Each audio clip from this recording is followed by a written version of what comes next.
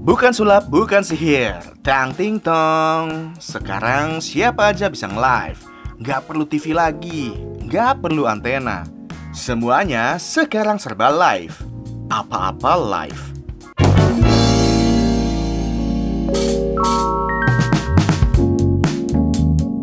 Makanya jangan heran kalau muncul deretan seleb TikTok atau Instagram yang terkenal gara-gara live-nya. Misalnya aja nih, Kak Jill Gordon, Maiden, Bunda Korla, atau yang belakangan ngajak join live, Dylan KW alias Alif. Mereka semua punya persona masing-masing, punya cara masing-masing untuk meraih penonton mereka.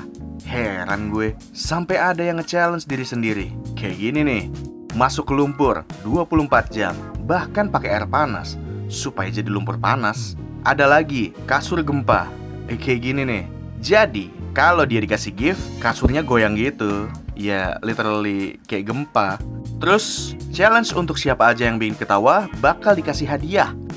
Pada berani-berani gak sih orang-orang sekarang? Gue bisa bilang, ini adalah dunia kreatif.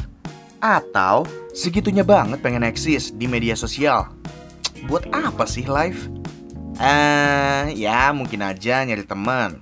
Pengen tenar? Atau karena ada uang di balik semua ini? Dilansir dari TikTok, Live merupakan salah satu menu yang disediakan TikTok. TikTok Live mengizinkan pengguna dan kreator untuk berinteraksi dalam waktu nyata. Syarat Live TikTok, pengguna memiliki minimum 1000 followers. Pengguna wajib berusia 16 tahun ke atas. Aplikasi TikTok harus update ke versi terbaru.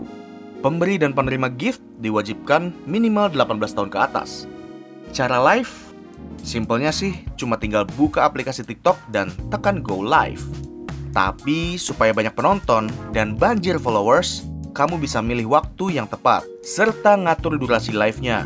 Biasanya sih live 3 5 jam dan terus-menerus bikin konten. Nah, cara ini tuh efektif banget buat tambah teman, followers, dan engagement. Sekarang, siapa sih yang gak punya TikTok? Semua informasi kayaknya bisa didapetin di TikTok. Nih, gue kasih tahu, pengguna TikTok di Indonesia aja mencapai 99,1 juta akun. Jumlah ini bikin Indonesia berada di urutan kedua setelah Amerika. Rata-rata pengguna menghabiskan waktu di TikTok sebanyak 23,1 jam per bulan.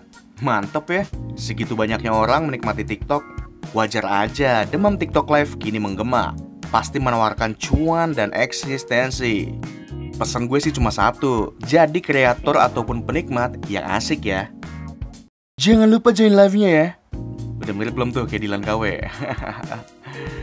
Oke Gen People, udah nonton sampai sini tapi kok masih belum subscribe? Subscribe dong! Jangan lupa juga untuk klik loncengnya supaya tetap update video-video keren lainnya dari genpi.co Terus, like, share, dan jangan lupa buat komen di video ini Kalian tuh tiktokers yang kayak gimana sih? Oh iya, supaya kalian keep up to date seputar berita-berita terkini, download aplikasi genpi.co yang telah tersedia di Play Store dan juga App Store. Genpi.co Tahu kamu banget ya.